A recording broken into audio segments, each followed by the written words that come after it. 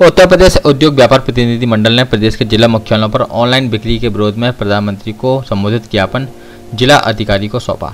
इसी क्रम में इटावा में उत्तर प्रदेश उद्योग व्यापार प्रतिनिधि मंडल के जिलाध्यक्ष संतोष सिंह चौहान के नेतृत्व में विशाल जुलूस निकालकर दो ज्ञापन जिलाधिकारी को देश के प्रधानमंत्री व मुख्यमंत्री को संबोधित सौंपकर जमकर नारेबाजी की गई। उत्तर प्रदेश उद्योग व्यापार प्रतिनिधि मंडल के जिला अध्यक्ष संतोष सिंह चौहान ने बताया कि प्रदेश में कोरोना की मार झेल चुके व्यापारियों की कमर पहले ही टूट चुकी है। उस पर ऑनलाइन बिक्री ने व्यापार को चौपट कर दिया है।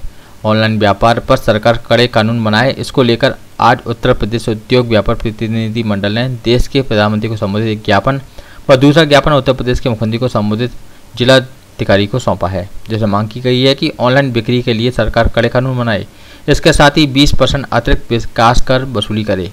ऑनलाइन बिक्री, लाइसेंस बंद करे, साथ ही एफडीआई पर अंकुश लगाने की भी मांग की गई।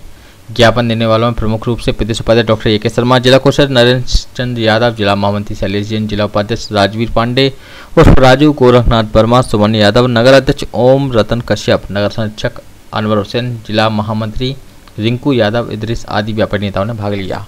इटावा से खबर हर पल के लिए अभिनंदन जैन की खबर।